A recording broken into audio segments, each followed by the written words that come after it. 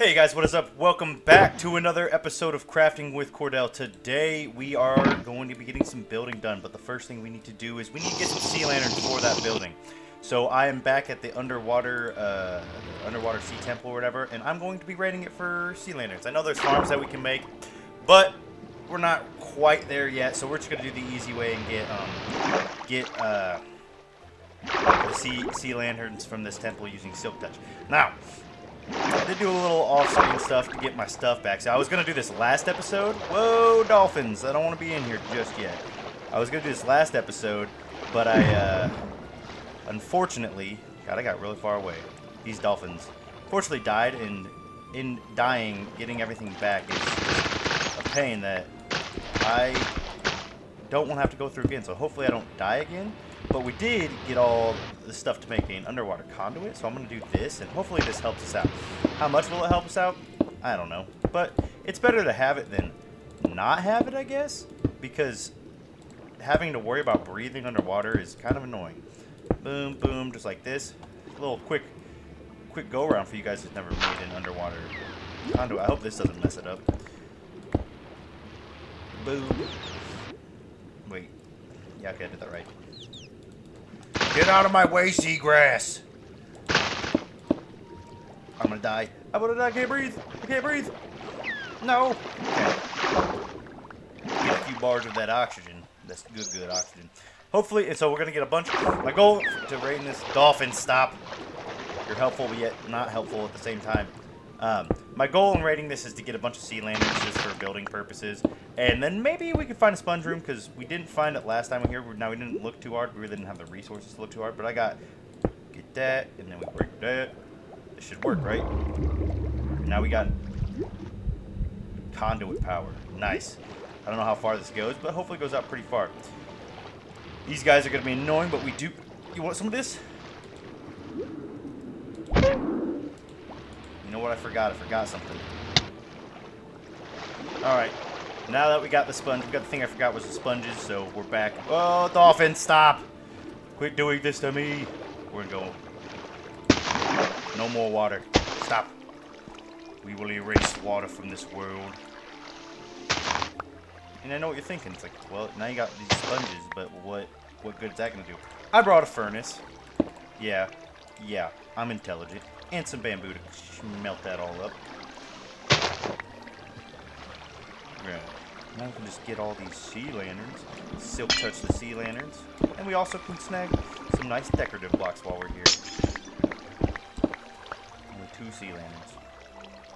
I should put the wet sponge in this one. Clear out this room. Yeah, look at that. Water's gone. Just like that. Poof.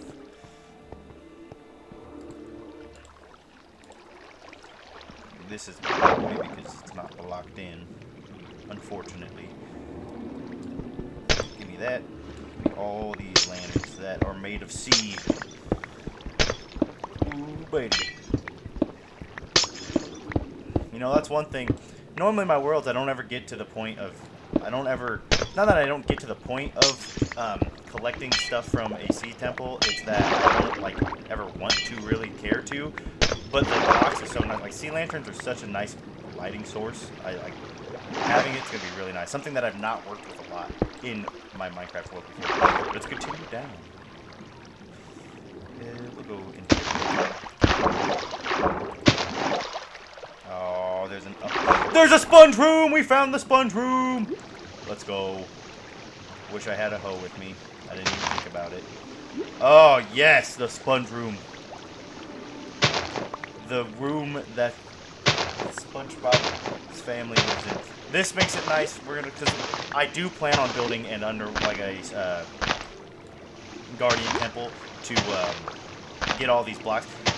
The thing that's crazy is I've searched around uh, the the um, ocean biome. There's like 14 within like 200 block, not, not that many, like a thousand blocks from this temple. There's like 14 underwater temples. So like we don't even need to make a farm because we just have that much, uh, that many temples that we like really would never run out. But I will be making a farm, probably out of this one. Maybe if I can find a double, a double. Hey, who's, who's a better stop doing it. Sponge room. Now we got a whole lot of sponges to clear out things. Okay, this will stop the guardians from spawning too, which is really nice. Like this guy's like lost. Alright, I'm gonna keep clearing things out, guys, and then I will get back to you. If I find another sponge room, I'll get back with you guys. If, uh, you know, I, I this whole thing and there's nothing really too much more interesting, I get all the sea lanterns I need, I'll get back with you guys. Uh, either way, I'll come back and then get a quick checkup on you with you guys. Alright, we are back from the the old underwater temple, and it wasn't as fruitful as I it could probably could have been, but those things are still pretty strong. The, the guardians are still kicking my butt. I'm not quite in the position to take them out, but we got enough sea lanterns. It's kind of what I got from the haul, all my sponges, and then whatever I, I mined. But mainly was going after sea lanterns. Um, that's because we are today working on the water part of the the dock. So if you come, if we come over here real quick, and kind of give you guys a little look, see what what what I'm thinking about. We'll get in this boat. What I want to do is have like a move, move, move. I want to have a foundation um, for this dock. So all these wood pills are sticking up, but I want it to like have some kind of like retaining wall holding back underneath. So I'm gonna like kind of dig out um, underneath and build up a retaining walls to make it look like it's holding back a bunch of soil. And then, I mean, it'll still like creep into the wall, but I just want to dig it out and then it kind of be a little flat face across here and go all the way around with the, as far as my dock goes. But what we're looking at, so I got the sea lanterns. Another, um, another part of it will be getting basalt. I have a basalt generator set up. Uh, and we're collecting salt as I go along. And then we're gonna, and I'm gonna jump into creative so I can show you what I'm working with, what I want to create with um, the resources I have. Okay guys, we're in a design world, and this is kind of the idea that I'm going with. So this is what's gonna be under the water. Um, now, this is very basic, very basic stuff. It does look okay. I mean, it it gives it a little depth being pushed back. But I'm having like a sea lantern to light up the underwater area because I think it's going to make it look real cool if you're walking at night and you can see all the lights underneath the water. I think that's going to be a great idea. And then we got these pillars to make it look like it's a, it is a like waterlogged version of the oak planks that are coming sticking out of the top. And the cobblestone, just because you know stone's usually used to like concrete's usually used to hold back dirt. Now, I have been watching. So one guy that I watch a lot on YouTube because he. Uh, his his uh, videos are really entertaining, and I learn a lot from him. His his name's B Building with BOO, and this is kind of where my whole series comes from, based off his his name's BOO. He has a series called Building with BOO. That's where my my series kind of gets the inspiration from, and he's been talking about recently about not like having um like you could have this and repeat a bunch of things or a bunch of times um, and it, it looks okay, but it, it doesn't look as good as it could be. So I'm taking that aspect of like trying to break things up and make because this is going to be uh, in between each of my pillars. So I'm gonna take that aspect of and try to break it up, make it look as possible. And this is what I kind of came up with. So, so like yeah, we're gonna have the two um, pillars with the background and the sea lantern, but in between those, we can make each one of these walls like very because like very greatly. Like we have stairs that we can play with. We got cobblestone walls that we can play with. Um, moss blocks that I'm gonna be using just so like it looks like the grass is kind of growing into the, the retaining walls and then here we can kind of give it a gradation of the logs how um, the water has affected each pillar differently and then we can use lichen to kind of make it view like a transition into that dark really soaked up water um, log so I think that because like if you look at the two of them side by side, the right one looks okay, but then you look at the left one, you're like, oh, there's a whole bunch more detail, there's a lot more depth, um, and really just by using the same blocks, just you know, converting them to stairs or walls, and maybe adding a few things here and there, but. Um, I think that this looks a lot nicer. And then I also did throw like stone up top because that's the part that people are to see, you know, so like that gets maintained maybe a little more. It's got more care to it than um, most of what's underneath. This is a lot harder to care for. This is a lot easier to care for. So I think that this is what I'm going to have kind of going all the way around, and I'll, I'll get back to you guys. Whoa, um, and show you what I mean, and I'll, I'll get one area cleared out, and then cut back and have all this maybe, and then start building it. Show you what my process is, and then show you what it's going to look like in each section. But that is my idea. I think this looks real way better than this over here. So, so this is the area that I have carved out now. I'm gonna try to get three pillars done here, or three areas done. But I got everything kind of pushed back.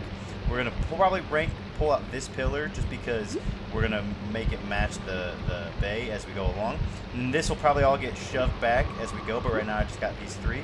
But this is how this is what I'm thinking, guys. So like when it hits water, I mean it could be it could be uh, oak, and then we go like is this dark oak or is this, is this spruce? Did I not grab the dark oak? Well, I will be right back. Now that we have the dark oak, we can get continue. Um, but like we go down here, make it transition, and now we got this one little three here.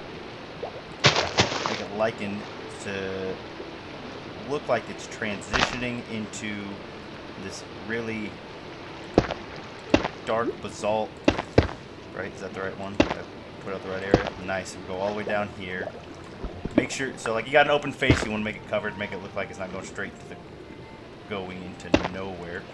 We're gonna rip out. I don't have. Ooh, I don't have a log. We'll get fix that later. But so now that we got we got mossy stone.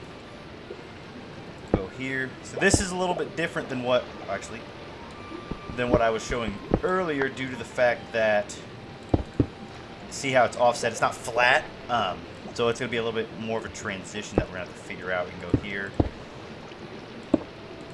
bring it up just a little bit now push through with the cobblestone. So I'm gonna I'm gonna start by making it flat as much as as much as I like, and then we'll come back through and make everything look more um, detailed. So this is where I'll push it out with the the stone here. Boom. So now that we got a flat flat wall, right? It looks kind of bland, like a, kind of boring, but come up here. Ooh, it's nighttime. Scary nighttime. Now we take a sleep. No monsters will spawn. Let me get. I know I have. Place this right here. Gonna need these. Okay, we're probably gonna use a couple because it's so tall, and then we'll get this. Give me Give me some stone walls. Um, I'll get a couple more stone stairs. I think that'll be enough for this, at least this one. And then, do I have... I just have cobblestone. I don't have my normal stone, but we can change that real fast by doing this. Grabbing a few, uh, grabbing a few stone pieces that we ain't gonna see. Give me this. All of that. One, two, Yeah, all that. Is that the right one? Do I have stone now? Nice. Okay. Let me get some stone stairs. Okay, so this will come up.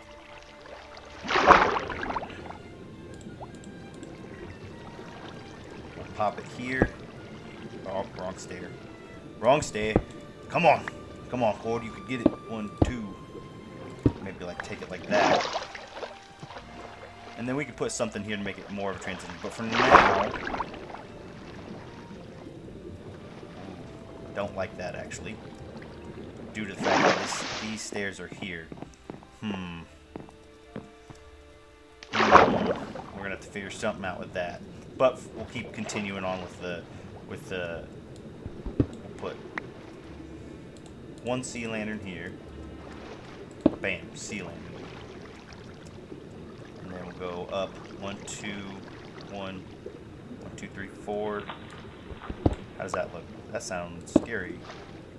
One, two, I like that. Okay, now we can take all of our stone ingredients, ingredients, and start playing with how we want to set them in. Not this stone ingredient. Why did I? We'll take. We gotta swim around here. We're going to need my cobblestone. Because you got to have a back, otherwise it doesn't look as good. Where my cobblestone go? I, transition cobblestone! Listen to me. Do the thing I want you to do. Bam. Got that. Transition you know, a wall right here. We'll put a cobblestone right here. Hmm, put a wall. Gotta have cobblestone on the other side though, otherwise it's not gonna work. So this is a lot more detail oriented. You got a lot of have a lot more faces that will be showing, but it does add that, you know, that broken feel of the cobblestone, giving it more depth. And like it doesn't have to be cobblestone behind, like you have some dirt showing, you know, it's holding back the wall. I do like that. Um, break this one. Just the randomosity that you can put into this is gonna is make is makes it look so much nicer in my opinion than what um, just stairs like or just normal slabs look. And we probably get some two stone. I wonder. But now you come back and it looks like it's transitioning. This will look better once I get another um, pillar in place. But I need, I need an axe. Then we'll do the same thing on these two. So we got one, wait, yeah, one, two. We'll just go down. Where's the, give me my basalt. Follow this path. This one, am I directly above it? Bam, right there, right there. Boom. Don't want it on the same depth, so we'll change it. We'll go dark oak. Hits pretty hard, then we can switch it to spruce oak real fast. Bam, bam. Now we got my lichen out. Bam, lichen, lichen. Different depths. Does that put it on this side? Yep. Okay. Boom. So now that we have that, like, so now we can get a nice, nice wall going, nice retaining wall, and when we're walking through it, it'll look real nice. So I'm gonna get these two other sides done, and then I will meet back with you guys to kind of get an overall how it's gonna feel. Everything is pieced. So after a little bit of work, we've got a nice little foundation going, nice retaining wall underwater. Really love how this came together. You know, all the different aspects of uh, you could just, what you could do with stairs, uh, walls, and stone is just incredible. Like I said before, that this is inspired by B O. Um, if you guys don't haven't checked him out, don't know who he is, I highly suggest I'll even leave. Well, yeah, I'll leave something in, in the comments or the the the description. But man, he's incredible builder, and this is kind of where I got the premise of just changing some things up, making it look different constantly, and it adds so much detail to to to this lifts. And I think this foundation really will really look good once everything's kind of arching around follows this whole trajectory that I have going on here. But I think that is where I'm going to end today's episode. I got, you know, I got a little bit done um, in terms of building. I think in between episodes I'll, I'll extend it even more, maybe extend the upper part, and maybe even do a little bit of this to the top part, and then when I come back, I can explain whatever I did, if I did choose to or not. Um, but in the next episode, I hope to try to start working on some roadways in my village, because I think that's going to help lay out where I'm going to put things more than just those wool blocks I placed a couple episodes back. So I do hope you guys look forward to seeing that, and um, for now, that's where I'm going to call this episode, and until next time, peace.